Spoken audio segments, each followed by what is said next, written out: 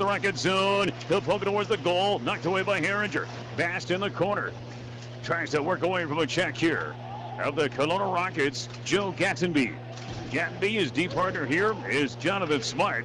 Board battle ensues. Turnover land. Cooney trying to work it out in front. Now we're going to fight. Is it Tanner Wishnowski? Wishnowski and Bast are going to fight here. Just inside of that Kelowna Rocket blue line. Now they grab a hold of one another. Wishnowski at right can't connect.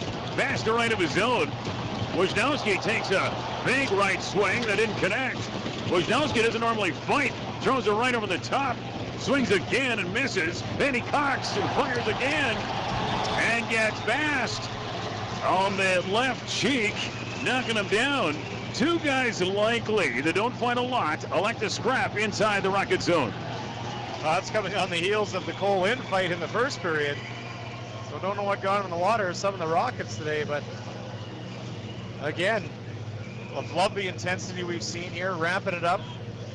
A couple of weeks out of playoffs, and uh, both both teams, both sets of players realizing, you know, you can't give an inch. These two guys came together in the corner and had a disagreement over something, and uh, it led to fisticuffs.